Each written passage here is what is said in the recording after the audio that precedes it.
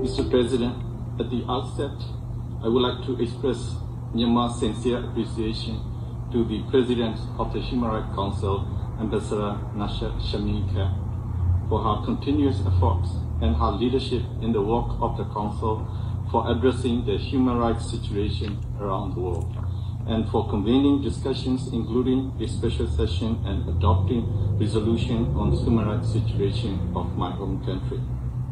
The Council's report and addendum contains three country-specific resolutions on Myanmar, reflecting on-ground situations.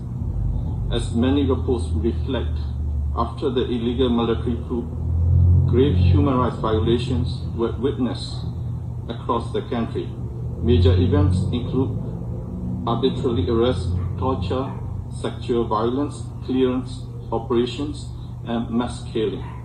More than 9,000 people were arbitrarily arrested and about 1,200 people were killed within these nine months. Military operations are being conducted in the northwest of Myanmar, including Sagaing and Magway regions, where massacres have already occurred, leaving at least 80 people dead. The people have been completely deprived of human rights from rights to freedoms of expression to right to life, and atrocities continue to worsen day by day. The latest reports reveal that the military has planned to conduct the large-scale operation when monsoon ends. The clearance operation target People's Defense Forces and civilians at large. As such, these disproportionate and indiscriminate attacks will create bloodier incidents and more alarming human rights situation and tragedies. However, the people of Myanmar are determined to pay every cost to end the coup, bring justice, and rebuild the nations with democratic and human rights norms. Besides domestic efforts from various corners, close cooperation with special procedures mandate holders of the UN, and acceptance of jurisdiction of the ICC are significant efforts of the National Unity Government.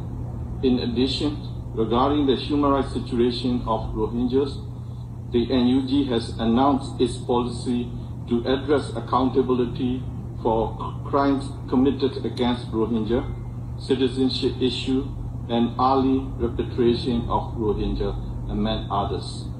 Mr. President, at this historic turning point of the country, which has been in human rights agenda of the UN for three decades, the people need strong support of the international community. Therefore, we request the Council to maintain the issue of Myanmar at the highest on its agenda, anti-democracy and human rights are fully restored in my country, and request all member states and the UN bodies to stand with the people of Myanmar. In doing so, by giving opportunity to representatives of the National Unity Government to participate in multilateral fora such as the Human Rights Council, and the international community can hear more voices of the people and effectively support the national efforts. Mr. President, in conclusion, what happened on 1st February is the military coup, nothing else.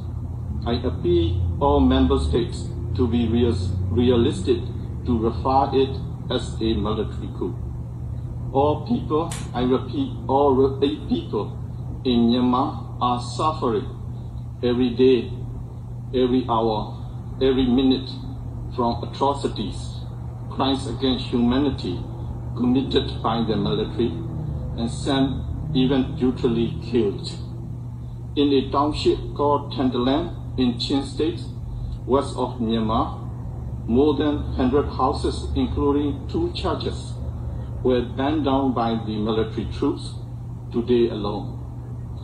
Your serious attention to basic rights of all people and your action to prevent all people from such atrocity is seriously needed. Decisive, timely action from the United Nations, in particular the UN Security Council, is well, well overdue. What are you waiting for? Please, please save lives of the people of Myanmar. And thank you.